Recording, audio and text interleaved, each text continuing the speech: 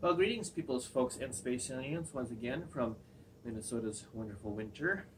It's been a little cold, hasn't it? I'm coming at you with a 2022 update to my channel, what I'm planning. First off, I wanted to say thank you to all the subscribers. Thank you to everyone who has subscribed. I appreciate it. I especially appreciate the people who are watching my videos and enjoying them and liking them. I do not know how many subscribers are watching my videos, but I have some tests on that coming up here. Some random videos. So with that said, um, I wanted to give an update for the year. I will be turning the channel down, unfortunately, in the spring, doing less videos. Now, a video once a week, uh, every couple weeks is probably what I'm planning. I'm going through winter, looking at videos, looking at statistics, uh, I'm seeing people who have been on YouTube for like two years. I've been doing it for three. Some have been a little longer than that, and they have this fanatic following and lots of subscribers, and I don't. So I'm looking at the statistics and tech notes on my videos pretty regularly, just seeing if there's anything else I can do. Uh, realizing that my goals that I had out set out initially have not been met with the exception of number one goal being awareness, bringing awareness to trails. I believe I got five stars for that. I think all of you realize that I brought a lot of awareness to trails. My gosh, I can't believe how many trails there are in Minnesota now. You cannot go to the same place twice if you want to go to every place. It, I mean, you'd go to a different place every weekend and you fill up your summer. Um, trying to get to all Minnesota trails. I'm giving myself four stars for that. Obviously, with my injury and my thumb, um, I actually was not able to get to the two big areas that I wanted to get to. I'm going to try to do that this year. I'll talk about that in a second. Obviously, number three, following and a return on my investment. Uh, after two years, I was going to look at this and say, do I want to continue doing this? Is it worth my time? It's taking a lot of my time. It is. I am enjoying it, but um, I'm not getting a very good return. So I'm I'm not getting any return actually. I'm spending more money than I am anything else. Um, so that's the reason why I am turning down the count a little bit. Uh, with that said, uh, I'm not going away. Not yet, anyways. I still have some plans this year, I want to share some potential trips. Um, another news, I have a bike review I'm putting out, three years on the Pivot. Why am I doing that? Can you believe it? I'm actually going to sell a Pivot. Oh my gosh. Earth shattering. Um, I actually realized that uh, it's still a very good bike. I'd like somebody else to have it and enjoy it, and I have found something that I might upgrade to. So there's going to be some on that, something on that here coming into spring. I might be doing a test drive on a bike that I might be buying. And then my trips for the year, uh, I'm going to try to do two main trips that are two or three days, um, and then I might do two two-day trips. Uh, so it's going to be two or three, two or three trips, which is usual for me. Uh, I just can't get away. Uh, if I get away on the weekend, I mean with work and whatnot. But I do have several holidays where I can do that. Plus I had vacation, so hopefully, hopefully I can like not crash. First trip is going to be in May. That's going to be to Cuyuna. Um, so basically, what I'm planning on doing is uh, I'm going to try to get up there as early as possible, AE, AP, um, they usually open beginning of May. I'm thinking hopefully the same weekend, May 6th, 7th, 8th, somewhere in there. Um, potentially a week earlier if you get a real early spring. Uh, I think this last one I could have gotten up real early and I didn't for whatever reason.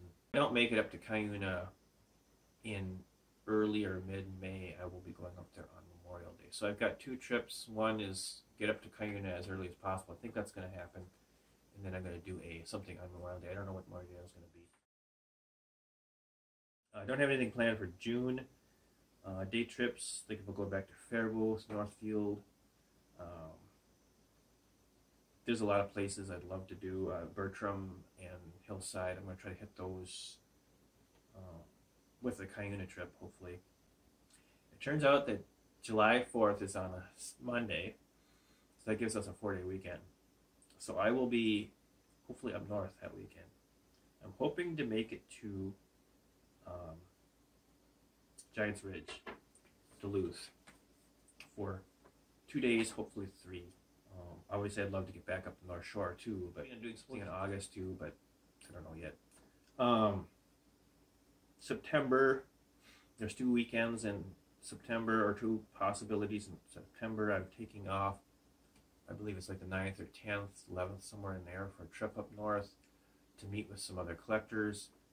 And I will be hopefully getting to Detroit Mountain. That's another place I haven't been, as well as some of the other stuff that I walked and I wasn't able to do because of my thumb, my dumb thumb. Um, Labor Day. Um, I believe that's Labor Day and Memorial Day. I always get those mixed up. So there might be a, a week there where I'm out. Um, don't know what my plans are there either. But I do want to get up to Copper Harbor and Houghton.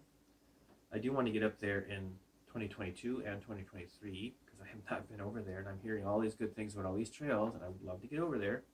In September, toward the end of September, I'm going to look back and see if I want to do one video a month.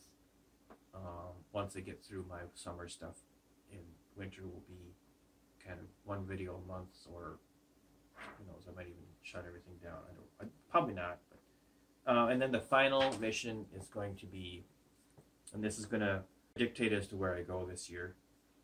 I'm going to try and clear every single tabletop in Minnesota. Not gap jumps, tabletops. And I will differentiate between step ups, step downs. There's some really difficult stuff still at Cottage Grove. I was looking at some of my videos. I can do those.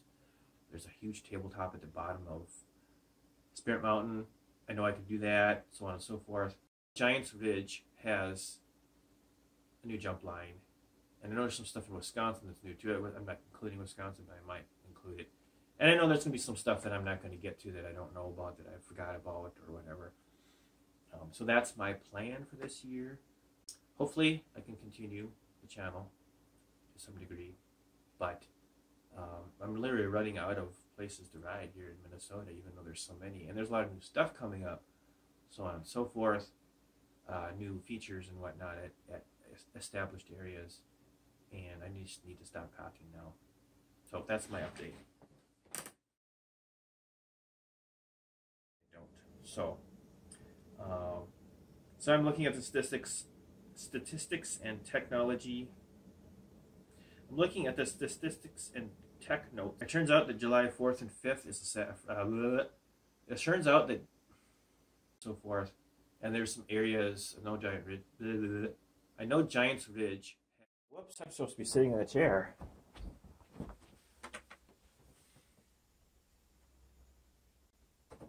This is a chain whip.